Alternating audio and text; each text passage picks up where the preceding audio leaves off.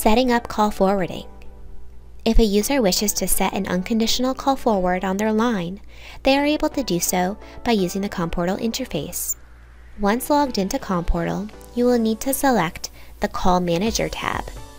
Then select the radial button for the Forward To field. You will then need to fill in the text box with a 9, followed by the 10-digit phone number you wish to send the calls to. Please note that if calls are being forwarded to another number within the business, you are able to use the extension associated with a line rather than a 10-digit number.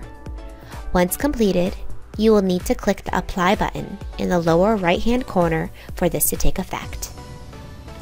At any time, if you wish to reverse call forwarding back to its original state, simply go back to the Call Manager tab and select Ring My Phone.